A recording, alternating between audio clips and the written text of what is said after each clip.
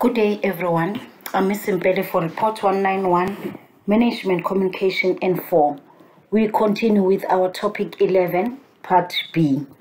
Our textbook for this subject is still the same, N4 Communication and Management Communication, say it in plain English by Wade and Steenkamp. For this lesson, we are going to consider page 273 to page 287 of our textbooks.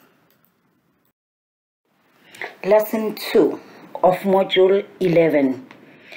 In this module, we are going to cover feedback report and progress report. Feedback report. When we talk about the feedback report, we are talking about the report that is uh, compiled to provide information on a specific specific event which has taken place, whether it can be a, a, meet, a conference or a seminar or a meeting. And you will need to give a feedback back to your uh, members, to your colleagues, or to your managers after you have attended that particular seminar. It can be written to give feedback on the function. It can be uh, written in order to um, give uh, feedback on uh, on something that has happened within your organization. The purpose uh, of a uh, feedback report is to give feedback on what happened, whether the function was successful or not, and also to give a record of what needs to be improved in that particular seminar or conference so that it will be successful in future. The guidelines on how to write the feedback report.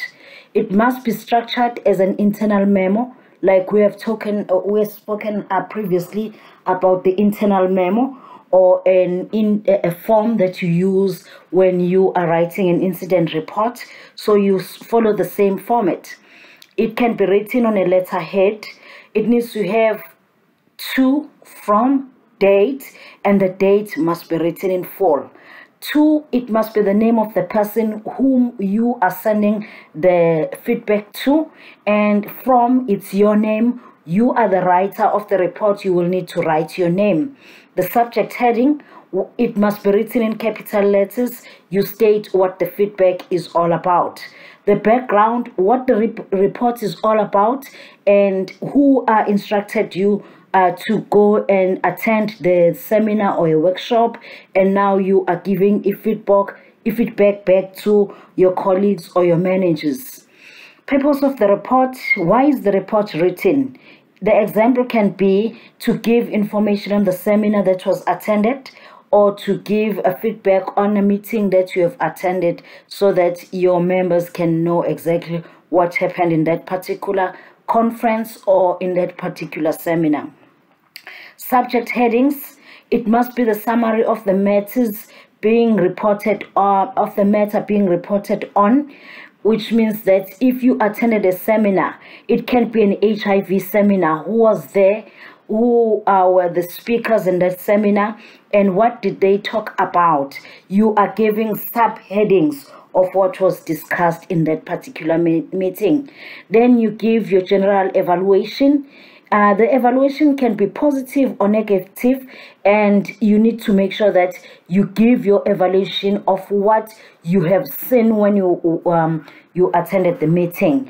Uh, for example besides the disturbance that happened during the seminar because of load shedding the seminar was a success and very informative which means that you attended this hiv and aids seminar and during the seminar there was a load shedding it, it, there was so many disturbances because of that load shedding but the seminar carried on and it was also a success. Recommendation make appropriate suggestions uh, if necessary. Let's say you are working in an organization where there um caregivers. Then you can make suggestions to say that in future the caregivers of this district or this uh, province can attend so that they can have uh, get more information in terms of the workshop or the seminar that you have attended. You sign you put your signature at the bottom because you've already put your name at the top. Progress report Progress report is compiled to provide information on the progress of an ongoing specific project, task, or assignment. It might happen that in your organization you are busy dealing with um, a certain project, maybe a building project or a renovation project. So you will need to give a progress report of what is happening with that project, how far the project is. The project report is written while you are still busy or organizing an event or working on the project.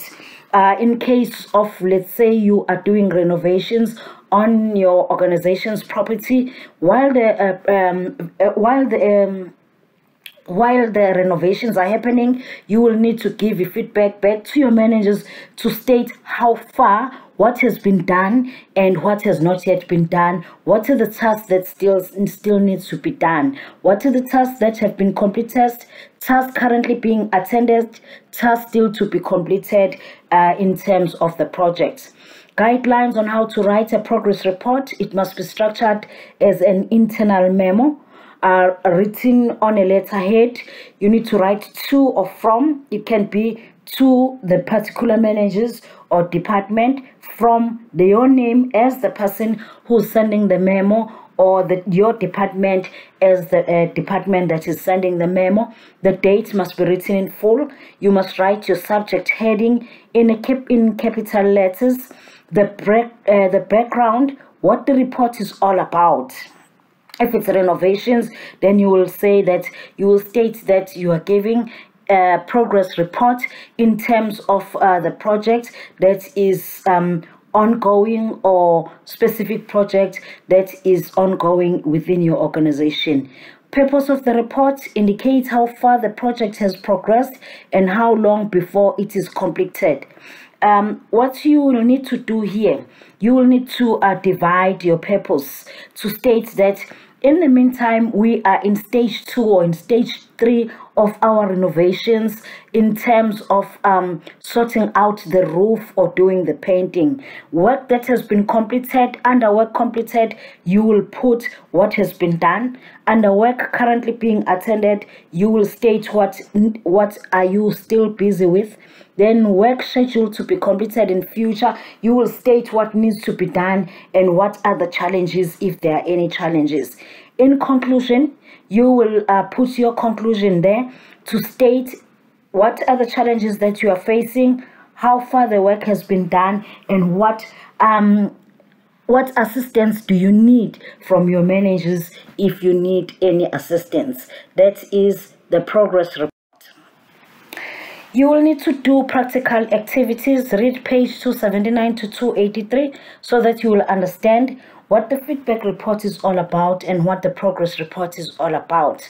The practical activities that you can do, it's fit it's number 1 feedback report activity 11.3 in page 281 and number 2 is progress report activity 11.4 in page 283. Remember we have done the investigation report and you know how to do a memo um, format and also a printed form which is normally used for incident reports. So those are the types of reports that you will need to know. And when you are writing your exams, you will be given a case study. And in that case study, that the, the, the, the, the keywords will guide you what type of a report you are writing on and how the report needs to be uh, written. So do your practical activities so that you can know exactly how to write different types of reports that have been um, discussed in this lesson. This is the end of our topic 11. Thank you for listening. Enjoy your studies.